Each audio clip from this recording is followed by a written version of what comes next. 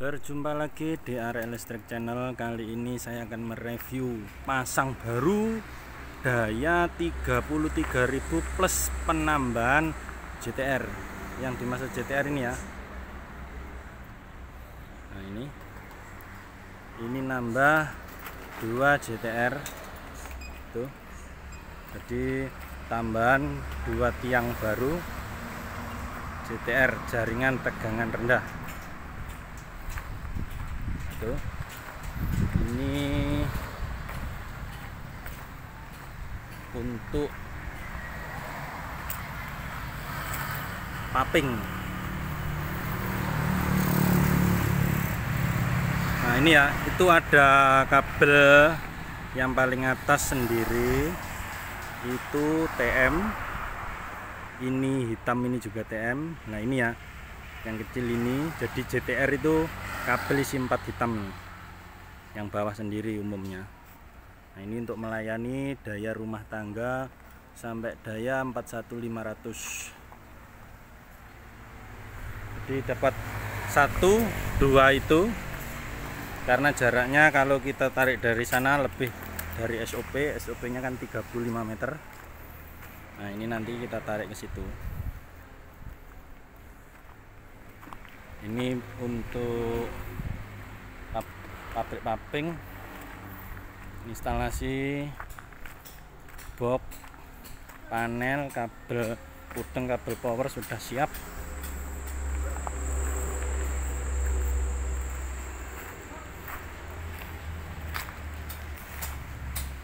Ini untuk meternya nanti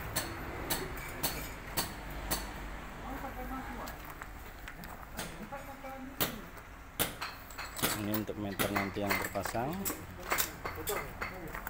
Ini pakai MCCB ini daya 33.000 MCCB nya 50 ampere ya.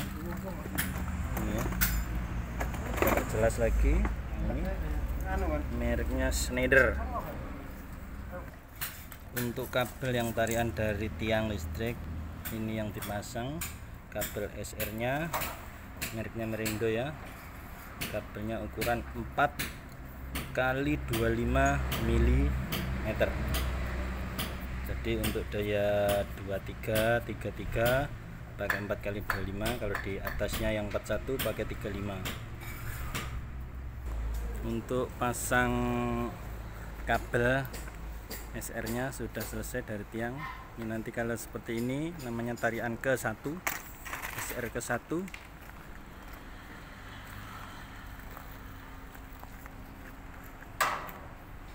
nah ini akan melakukan proses servis.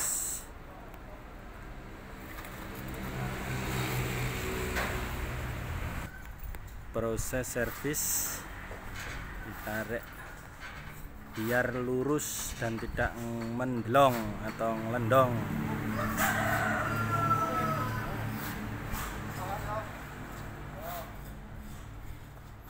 sekarang tinggal ngunci ke servis.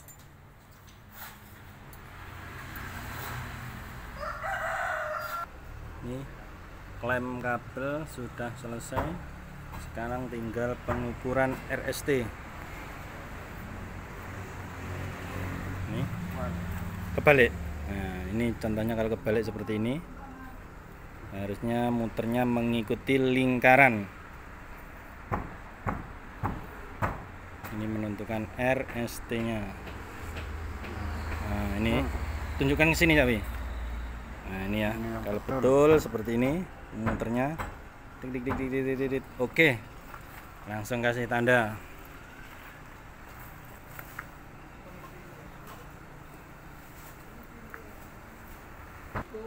Untuk kabel power ini yang dikupas ini umumnya panjangnya 2 meter. Soalnya kalau satu meter ngepres kan kepotong ini. Ini terus ini juga nanti dikupas. Kalau satu meter ke ngepres minimal 2 meter untuk kabel power atau pudingnya jadi nanti kita sambung ke KWH meter kan perlu spare. Kalau satu pas enggak enggak kasih spare tidak masalah ini masukkan kabel ke MCCB nya. Untuk kabel powernya atau kabel pudengnya ini merek Supreme 4 kali 25 mili. Ini yang paling bagus hitungannya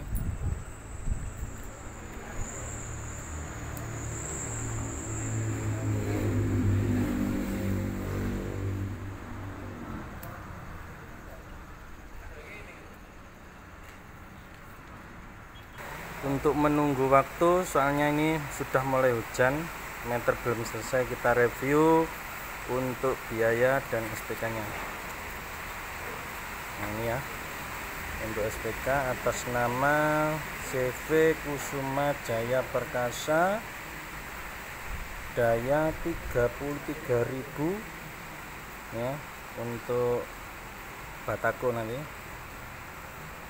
Ini inverternya paket SLO jadi kalau paket SLO nanti bayarnya pakai kode booking. Ini. Kita balik lagi.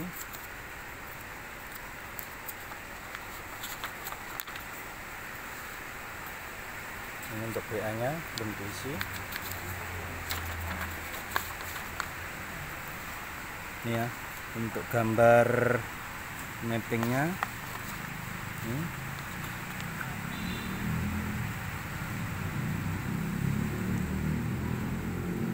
data lengkapnya. Ini tadi yang ini jalan raya nambah dua ini TR1 TR2 ini yang baru satu dua. Nah ini lokasinya ya jadi ini nambah dua gawang JTR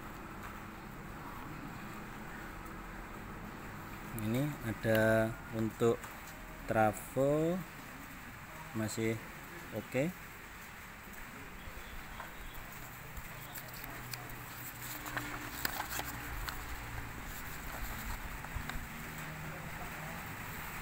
ini data gambar hasil surveinya.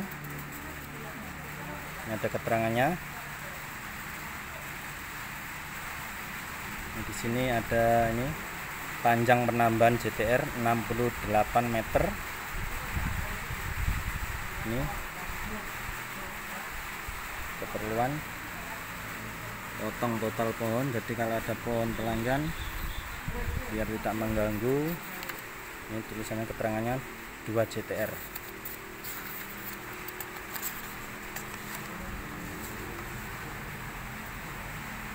untuk biaya sendiri nih.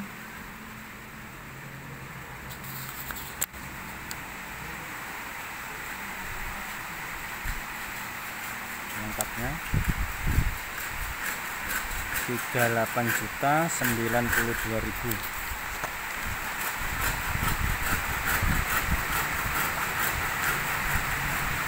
Ini lengkapnya. Lampunya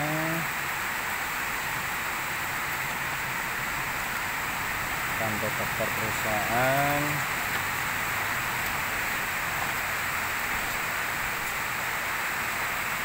Ini WO nya untuk pemasangan GTR ini.